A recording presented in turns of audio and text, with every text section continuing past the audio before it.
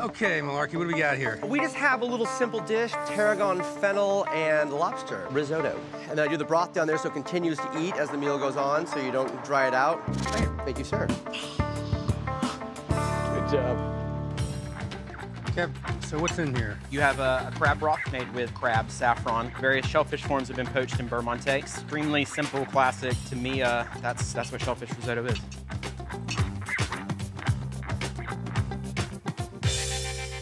I am so freaking excited about this. If I can win this next one, I'm done. I'm back in the competition. Essentially, both of you cook almost the same dish.